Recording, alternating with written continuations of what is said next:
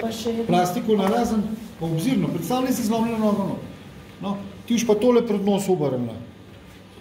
na dolgo. Ja, počas. Pa malo človeka vprašaš, gospod.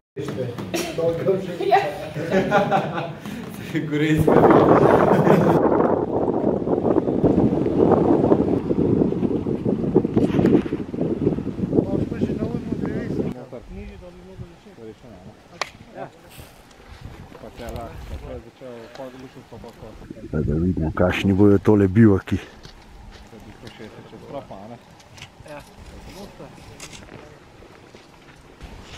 Da res preverita vse kote, pa, pa čim več. Ne? To je najmanj, kar lahko narediš, da vidiš, če je res 2-3 metre snega. Ne?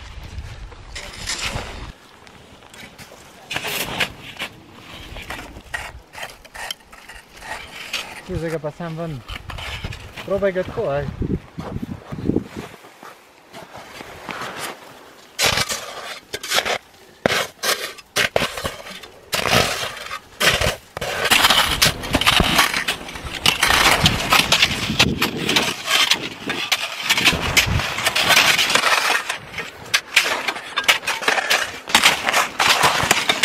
Prav, razširili bojo kanal proti desni. Došel iskat, kdo bo to. Uh, če bi pa dihal normalen, bi pa kaj z njemu. Ja, ga daš v položaj, tak, da... da- Kakšen? Ja, poklip, mislim, če Na bolj ga napraviš, tudi. Stabilno na bok, ampak Če lahko. Če ga lahko. vse čas imate v glavu tudi hrbtenico, malo da to naredite. A ne, ne. Ono glasno dihanje. Še eno gazo, sčistiš, Ja, vidim. ukolikor vidiš. Nič, ti už glavo držal, ok, z te strani. Čakaj, prideš drugače. Malo drugače pa učili. Gremo pa na bok k meni, okej? Na tri, ena, dva, tri. Do polovice najbolj, ja. Kako preveriš? Ja, če- Najprej moraš dihalno pot pro, Ja, najprej pogledam, če je pogledaš v ustah, ja, če bi bilo karkoli. Če diha. Kako preveriš? Roko. Uh, defibrilator eden.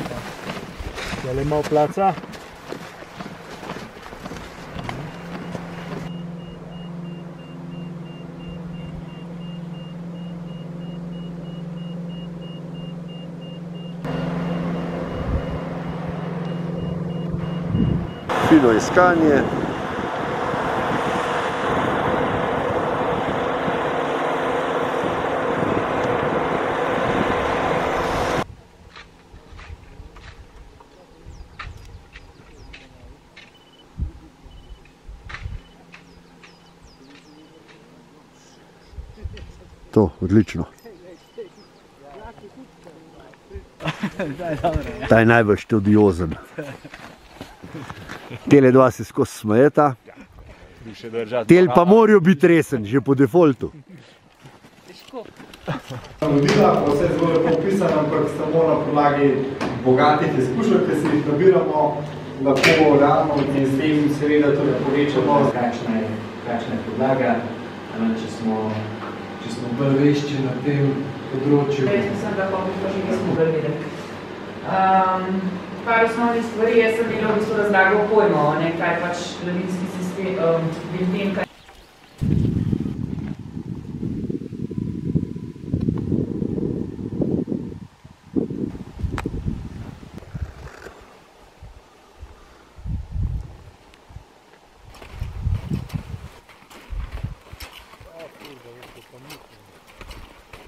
Бомба, супер.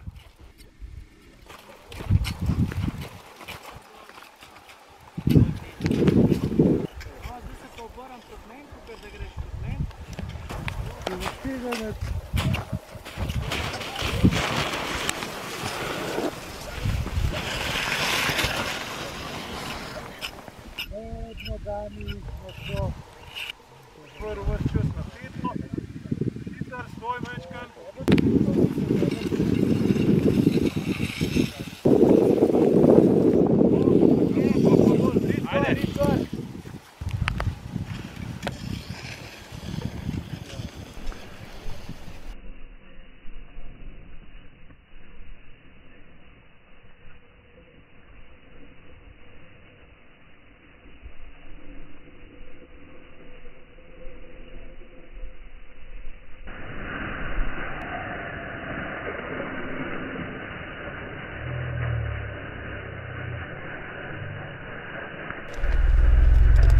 Жильм моих лягушек, блин, как ты.